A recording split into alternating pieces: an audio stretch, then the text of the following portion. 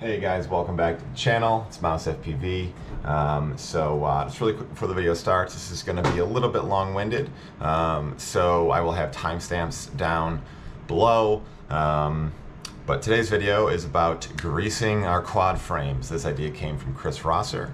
Uh, he is the super smart sciencey guy that's been talking about um, different frame resonance modes and testing different frames. Um, he's got some cool motor testing videos and prop like prop testing, prop choice videos, um, and sort of all the science behind these things, uh, and sort of sort of you know demystifies these like oh this feels good, this looks good, um, and his channel will be linked down below in the description. Um, he had the suggestion to use Nyogel. Um, it's this um, dampening grease. It is 767A um, between where our carbon sort of plates meet up on our frames uh, to dampen or dampen yeah to dampen uh, frame resonance. So uh, previously, Kabab FPV Bob Roogi suggested that I put electrical tape between where my arms mount to the main plate um, and it worked wonders. I was having really bad frame resonance at 440-ish hertz, uh, and that pretty much took care of it. Still having some problems. Um, it definitely wasn't perfect. Um, so uh, today we do one flight, uh, just a quick flight, um, where I do a couple of flips, a couple of rolls, I do a throttle sweep, and then a few prop wash moves, like really hard turns, then settling into my own wake. Um, and I tried to keep it like consistent between both. It's not perfect, but it's I guess close enough for this test. Um, and so uh, yeah, my overall impressions with the Nyogel, um, it's a mess. It's like so. Though I don't know if you can tell like the way this frame is sort of constructed, um, but there are it's like a lot of nooks and crannies, and so when you put the grease on the like arms um, it sort of like oozes out a little bit and then you got to get in all these tight areas with like a q-tip and rubbing alcohol and then like i use a, toothbrush and the toothbrush is covered in Nyogel now and that's getting everywhere and it was just like a slimy greasy mess I feel like for most people it's probably not going to be worth it. If you're in a situation like me where you're having like actual problems, um, probably worth it if you're in a situation where, um, like, hey, I was able to remove one low pass filter but not two, and I really want to, um, you're probably better off doing something like what Bob Roogi's coming up with, where he takes another really thin piece of carbon um, and you put tape on that sheet of carbon and then you put that in. Um, and the issue that that solves is if you just do the electrical tape, if you just try and change out one arm where you just kind of remove two screws, you slide it out. The reason that works is because carbon slides on carbon like relatively easily. It just slides out, it's smooth, it's like rigid. Um, the tape is kind of gummy, right? So when you go to put the, the arm back in, it kind of snags the tape. Um, and so the sandwich layer of carbon will help with that. Um, that's probably going to be the easiest long-term solution. That's going to be the best for most people. I think this Nyogel is going to be more of an extreme um, extreme case. Um, and you can even, maybe you can see, maybe you can't. Like in this, I've already got dirt and gunk sticking to the gel I couldn't get off. Um, the gel, I think, works better, um, but I also put it in more places. I put it underneath uh, where the motors mount up uh, to the carbon. Um, all of my motor screws on the bottoms of the heads have it so that the screws aren't rubbing directly on the carbon. Um, it's on the tops and bottoms of all my standoffs. Um, it's on the like camera cage plates. So where these, this is like a puzzle assembly here, and where all the pieces of the puzzle meet, there's some Nyogel in there. Um, it's on the tops and the bottoms of the arms for both plates. Um, it's up top, it's underneath the GoPro, but the top plate kind of locks in to the camera plates. Um, so in all of that assembly, I've got Nyogel. Um, I think that's how you pronounce it. I'm probably saying this wrong. Nyogel, yeah. Um, and uh, yeah, I don't know. It uh, it works. It's just a damn mess. so anyway, enough of me talking. Um, I will cut over to my two flights back to back, um, and then just a little section of some black box uh, reviews. Um, I don't have a ton of things to say about the black box data. Um, it's different, but it's hard to tell which is better and which is worse. I will say the Nyogel felt like it flew better, but then we're getting into this whole like, oh, you know, what feels better. Um, but even looking at the videos, it does look, well, you know what, I will let you guys figure that out for yourselves. So um, you can see there. Anyway, um, I really, really appreciate you guys viewing. Um, again, definitely check out Chris Rosser's channel. I believe he's going to be doing um, a much more scientific video on this stuff um, and maybe some uh, good tips and tricks to apply it that maybe I didn't think of um, that will make the application easier and make it more viable for us to use. Um, in the meantime, uh, here's what I got. All right, so I just got my tube of uh, Nyogel in, and uh, I currently have a layer of tape uh, which I'll try and show in the video. But I've got a layer of tape in between the main plate uh, and the arms, um, like where the arms mount to the main plate. Um, and then we're going to take that out and we're going to put Nyogel everywhere. Um, so we'll try and do really, really similar flights. I'm thinking um, I'll do a throttle sweep. I'll do two moves in each direction, so like roll left, roll right, pitch forward, pitch back. Um, and then I'll do two like prop wash turns um, and two like prop wash settles um, come inland. That'll do the same thing after. Obviously, that's not the perfectly like good scientific test, but I mean, this is because we're gonna get right. So, yeah, let's do it.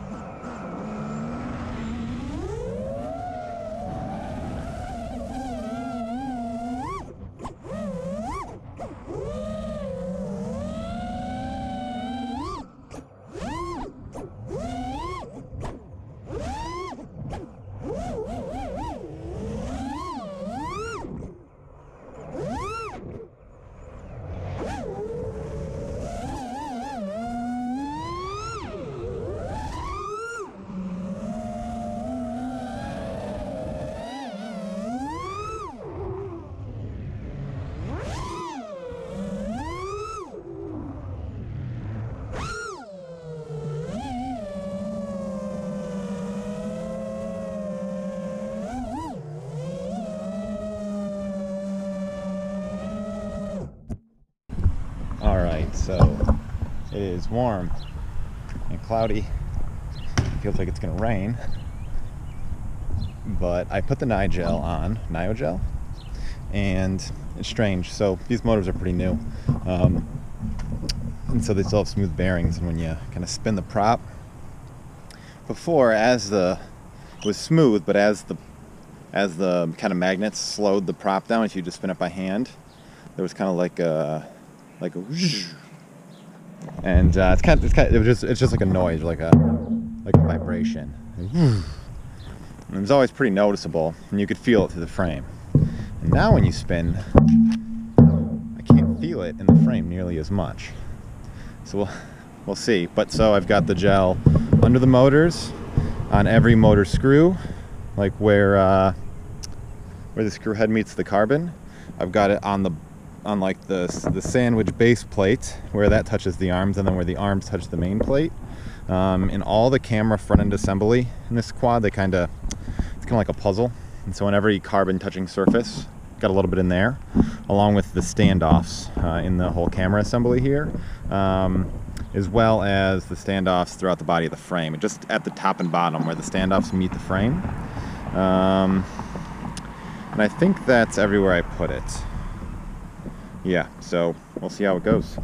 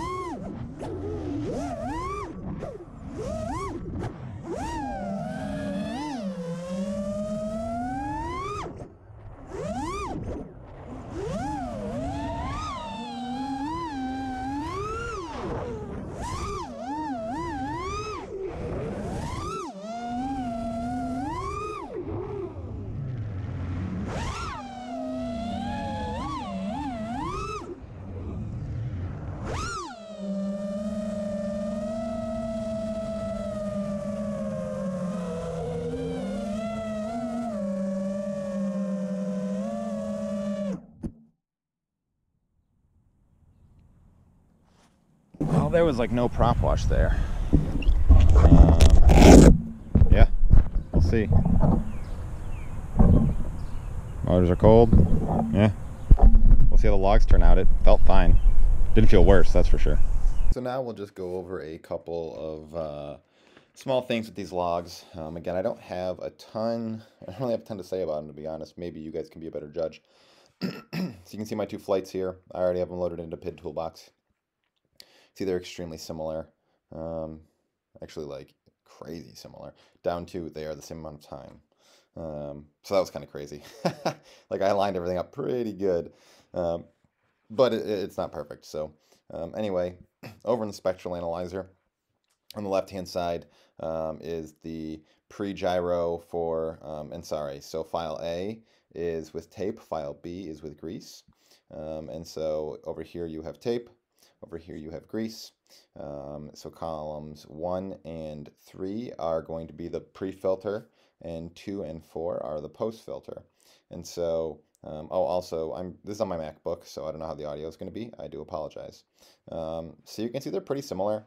Um, when I had uh, gone from no tape to tape, as a quick refresher, on pitch, um, there was a straight up mountain coming through um, at like 440 hertz. So this little wave um, here was straight up, it, it almost had the same amplitude as this, as this first peak.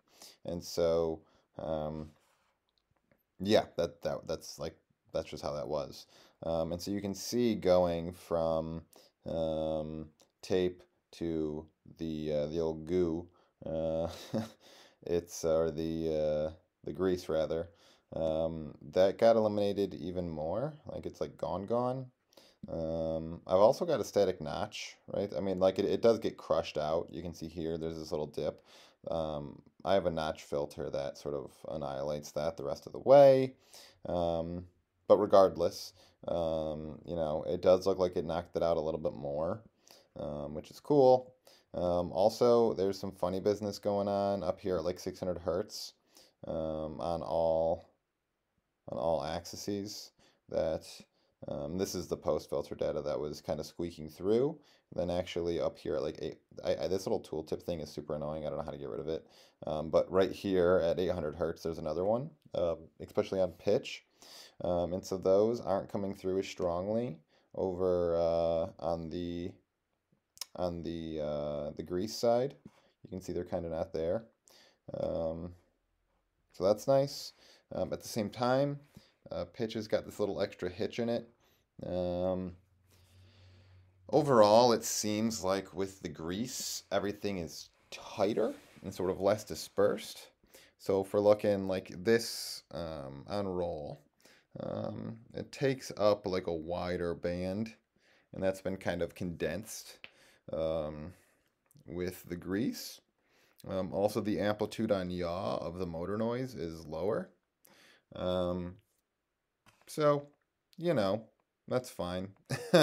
um, the other thing I noticed too was on like roll, for example, this like prop washy determ oscillation um, sort of gets moved forward instead of being at like 60 hertz.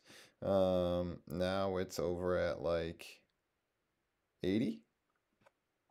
Is that good or bad? I, I don't know. You know, uh, it's fine, whatever. Um, if we look at the 3D models, um, we can kind of see the same thing um, where, uh, yeah, like actually if we go down to uh, under 100 hertz, that's kind of what I was looking for. Um, so under 100 hertz, you can kind of see like um, before, like uh, the sort of the width of this, this is kind of almost two bands wide and it kind of gets crushed up into one. Is that better? Is that worse? I, I don't really know. um, it seems like the same amount of noise is there. It's just kind of getting grouped. Um, or even like the width of this band is narrower, um, but also just more dense. I don't know necessarily know, like is that a ton better? Um, and uh, or even like this, um, this like prop wash up at like 60 hertz um, kind of goes away and gets kind of dispersed. It gets brought down into like the 30 hertz range, like here. That's, those aren't the same graph, but it doesn't really matter. Um, yeah. Um, and then it sort of gets pushed up from like 60 to 80, we can see. Um, and then also kind of more focus on the low end. So is it better? Um, I guess you tell me. um, ow. I think it flew better. Um, sorry to hit my elbow. Uh, I think it flew better. Uh, seemed to have less prop wash. Um, but yeah, uh, that is that. Is, those those those are the results. Um, and even here, right? So on pitch, um, this is sort of spread out everywhere, and it gets sort of sort of grouped down. Yeah, so that is the results. Um, I hope you guys, I don't know, maybe learn something from the video, um, or maybe change your opinion on whether or not you want to try this grease. Um, now that this quad is greased up, I think I'm going to kind of keep it that way. Um, but in the future on builds, I'm not sure I'll use that Nyogel. I think I'll probably probably just put tape um, in the frame, or I guess it depends on the frame. I'll probably not put anything in the frames when I build them. And then if I have issues, I'll add stuff.